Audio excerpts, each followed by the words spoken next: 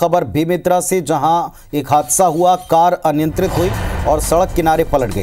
हादसे में एक मासूम की मौत हो गई है और तीन बच्चे इसमें घायल हुए इलाज के लिए ने रायपुर रेफर किया है। नवागढ़ थाना क्षेत्र के खैरी गाँव की घटना है। तो हादसे से जुड़ी एक खबर बेमित्रा से, जहाँ अनियंत्रित होकर कार पलट गई, मासूम की मौत हो गई है और तीन बच्चे इसमें और घायल हो गए रायपुर रेफर किए गए नवागढ़ थाना क्षेत्र के खैरी गाँव में हादसा हुआ है।